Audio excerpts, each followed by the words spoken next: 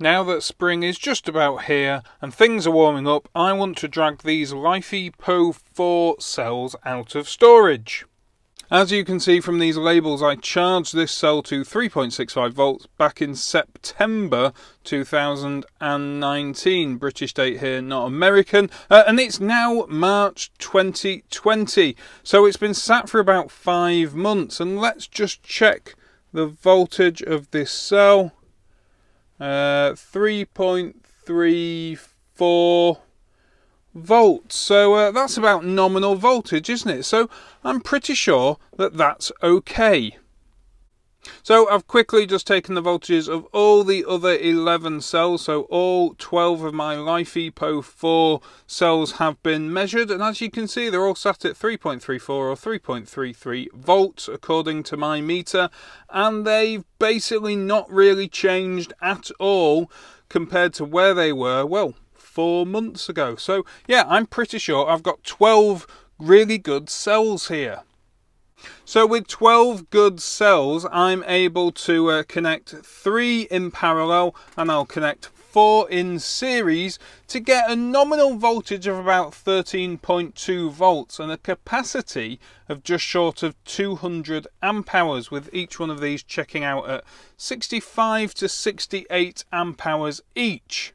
I'm going to need to connect all of these cells together. And after collating suggestions in the comments on my last video on this subject, I'm proposing not to fuse the connections between each parallel cell. But of course I will need to fuse the whole pack main output. Now I was really pleased with the copper pipe connectors I made out of, well, just standard 15 millimeter copper pipe and I squashed them between a 3D printed mold and that seemed to work really well. So a few days ago, well, I made a great deal more of these. Let me insert a little montage of me building them in the sunshine.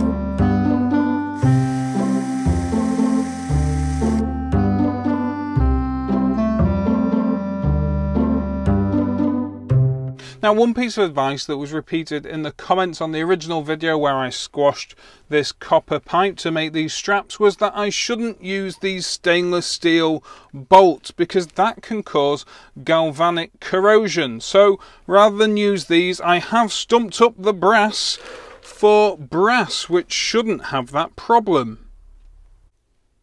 Connecting these cells together needs to be done carefully and methodically because, well, if I short out one of these cells, that would be very bad. There's an awful lot of energy within them. So I've put a bit of insulation tape on the positives. Uh, I've got wearing some insulating gloves and uh, my wrench as well has been, well, insulated as much as possible. Um, ideally, I'd put a bit of heat shrink here between uh, and reduce the amount of exposed copper, uh, but I haven't got any at the moment. So for now, they're just going to be naked bus bars. So I'm going to crack on and, uh, well, I'll speed this the video up probably.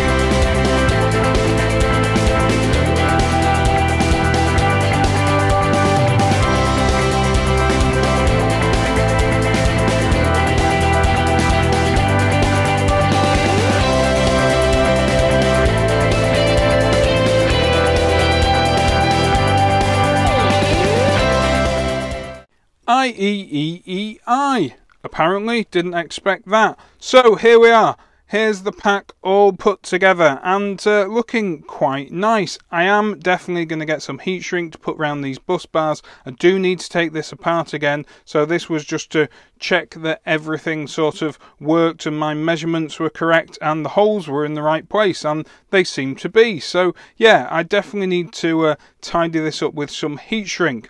Originally, I was going to do all the packs similar to this with a bus bar connecting all the parallel uh, cells negatives and parallel cells positives, and then just have one strap to the next set. But uh, recently, somebody called Chris commented and said, no, no, you should really do a full grid, and his argument made quite a lot of sense. So, as you can see, uh, at each series connection, there are three straps connecting them all together, making these rather funky, neat looking E, capital E letters.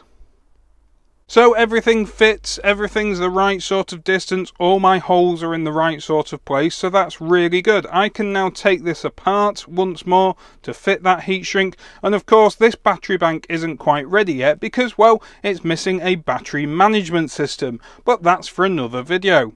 Hopefully you've enjoyed this video, if you have, give me a thumbs up, subscribe down below, comment if you can, and I will see you next time. Thanks for watching.